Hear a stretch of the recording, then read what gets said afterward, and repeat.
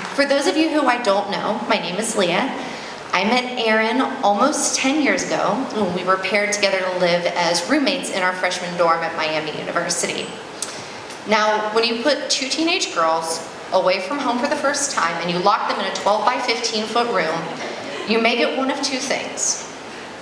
Worst enemies or the very best of friends, and luckily in our case it was the latter. Uh, we hit it off immediately. We spent the next four years having dance parties in our room, eating obscene amounts of ice cream, um, taking midnight trips to Walmart, and traveling the world with our awesome roomies, Katie and Kim. Some of the best times of my life were those with you, Erin. Um, we remained close even after graduation when Erin moved to Maryland for graduate school. And we made a pact that if we couldn't find any good men to marry, we would establish an alternative household, adopt a child from Sri Lanka, and live happily ever after. This is the God's truth. But a good man did come along, Matt, and he was perfect for her. Not only was he cute and funny and smart and musically gifted, but he thought Erin's 80s style clothes were awesome. And he was down to order dessert, right? We couldn't love him.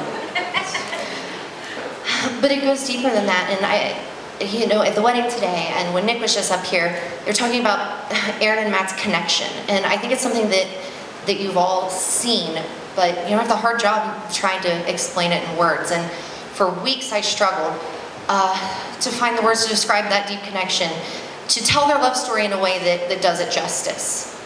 Um, I, I couldn't do it. Uh, so I Googled it.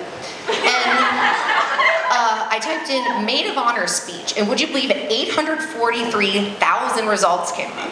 Apparently I'm not the only one who's had trouble with this. Um, one of the common suggestions was to use catchphrases like, to love, laughter, and happily ever after. But um, I could see Matt rolling his eyes when I was just even thinking about it. And plus, it's way too cheesy and trite for such a unique couple. Um, another common suggestion was to tell the groom the like humorous things he'd need to know about the bride's true nature now that he was going to be married to her. Um, to tell him what he needs to know to make her happy, to how to take care of her. Um, Matt doesn't need that. Matt knows Erin better than any of us ever have or ever will. He protects her, he makes her laugh, and he gives her his unconditional love and affection. For any of us to try to give Matt advice about Erin, it would be absurd. So um, I give up. I guess the best that I can do is say that everything about you guys, everything about this day is beyond my ability to describe it in words.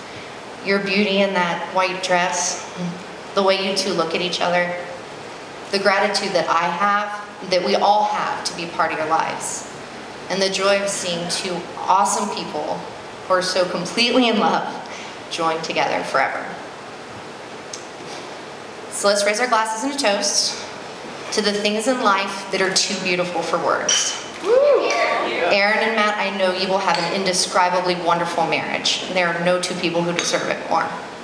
To Mr. and Mrs. Severson,